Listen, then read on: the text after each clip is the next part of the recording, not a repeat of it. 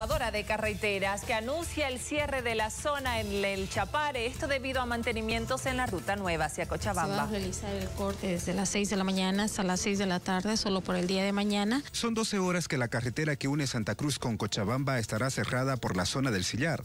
El motivo es por la realización de trabajos de mantenimiento. En el kilómetro 105 y 115 eh, pertenecientes al Sillar.